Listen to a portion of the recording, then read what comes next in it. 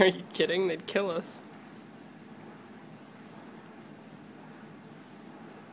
Apple, get in there. Apple's trying to lick Brownie's tongue.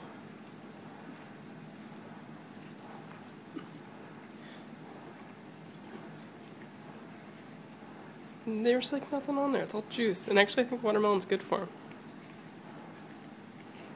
Or not good for him. It's just, Brownie, no cheating. This with me. The- he's getting out. All right, yeah, go ahead.